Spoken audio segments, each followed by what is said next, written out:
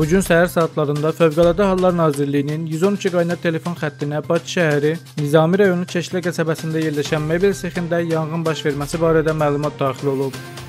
Unikal xəbər verir ki, yanğında mühafizə qüvvələrinin vaxtında və tedrik müdaxiləsi sayəsində sexdəki yanğının genişləməsinin qarşısı alınaraq qısa müddətdə söndürülməsi təmin edilib.